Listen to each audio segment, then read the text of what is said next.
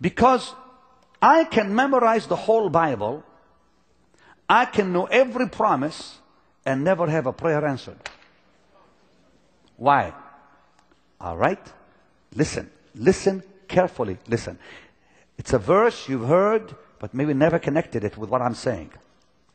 Likewise, the Spirit also helps our infirmities, for we know not what we should pray for as we ought. But the Spirit Himself makes intercession for us with groanings that cannot be uttered. But watch this.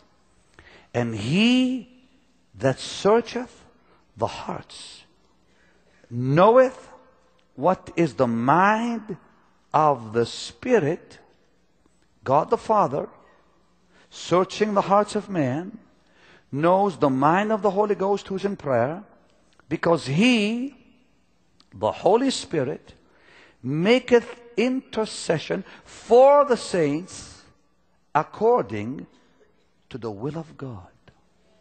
In other words, if I pray according to His will, He doesn't hear me because it's in the flesh.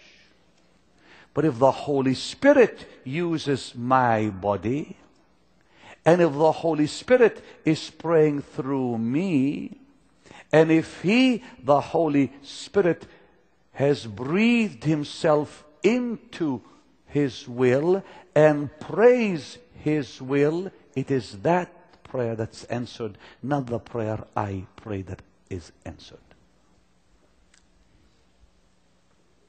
I can pray, Lord, your word says, your word says, your word says. He ignores me. Lord, your word says. I can scream it. I can shout it. I can holler it. I can repeat that for a, for, for, for a hundred years. Nothing. But I'm alone. And now the Holy Ghost breaks my heart and soul. Suddenly, the flesh cracks and falls off.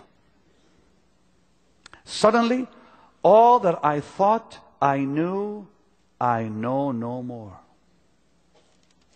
Suddenly, it's no longer I that prays. Suddenly, every word is born by the Spirit. Remember, all prayer, all supplication, all perseverance in the Spirit. Suddenly, the Holy Ghost is in control. And the Holy Spirit does not pray according to what I desire Him to pray. Nor does He pray for the things I want God to do for me. Because these are selfish prayers. James 4 says selfish prayers will not be answered. God's Holy Spirit now is praying using my vessel to touch the throne of God with groanings that cannot be uttered.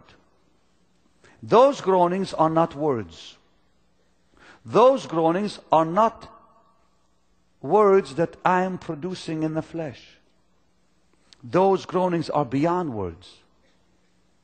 But those groanings are deeper than words, and suddenly it is the Word of God that is in control of that prayer. Every time that happens, when those groanings that cannot be uttered are a reality, the Word of God becomes preeminent. The Word of God becomes all in all. Suddenly it is the Word of God that's being prayed. You'll hear yourself say things you've never said before. You wonder how you got that wisdom. That kind of prayer brings the Word out of its treasure house. And God is faced with it. It is that, my brother, that happened to Moses. You wouldn't dare look at God and say, repent. Unless the Holy Ghost is speaking through you. The man didn't say it. The man did not say, What would the Egyptians say? The man could not speak such words. You are God who said to Abraham. You can't say it. That prayer was prayed in the book of Acts, where Peter the apostle prayed in the Spirit and said, By the mouth of the prophets, you've said. The word of God became so alive, it literally shook heaven and shook the upper room for the second time. It is that kind of prayer that shook the jail when Paul the apostle was chained. It's that kind of prayer that shook the cave that John was in on Patmos. Are you listening? We're not talking about flesh. We're talking about the Holy Ghost who takes over that vessel of clay and turns it into an instrument of prayer. May the Lord bring you there in Jesus' name. God is not looking for beggars.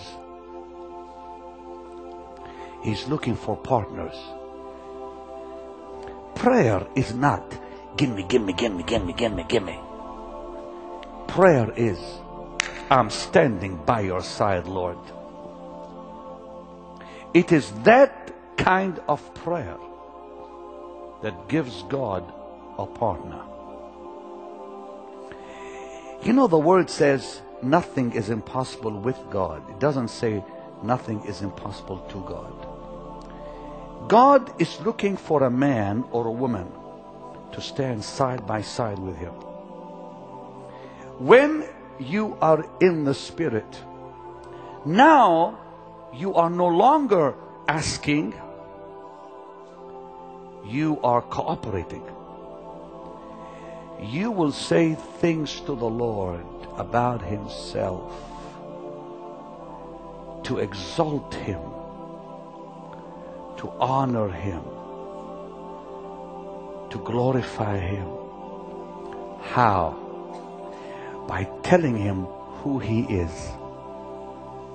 That's what happened. Moses said, God, you are the God of Abraham. You said to Abraham, read what David wrote.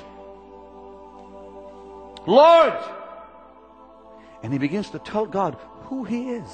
He said, well now, doesn't God know? You don't understand.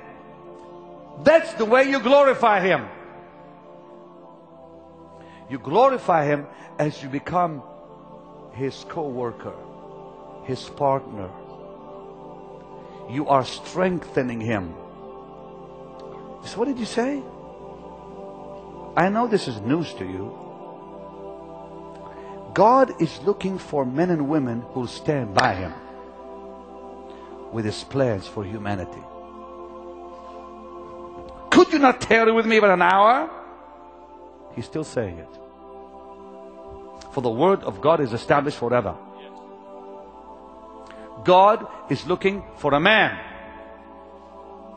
who'll stand in the gap. Do you understand that? Because that man becomes his partner.